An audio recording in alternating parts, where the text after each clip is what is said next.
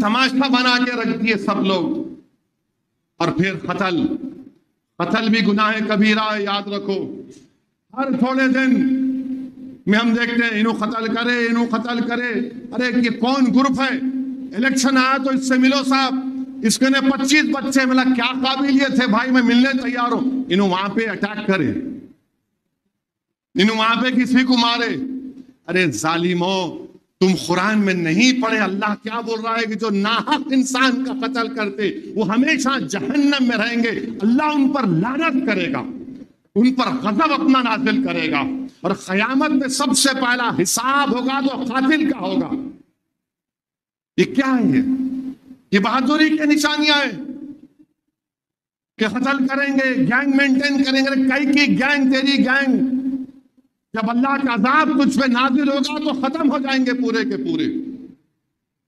मेरे अज़ीज़ दोस्तों और बुज़ुर्गों, वो आज की रात दूर रहेंगे अल्लाह से। अपने रिश्ते मुनखते मत करो। कुरान की आयात है, रिश्तों को बरकरार रखो।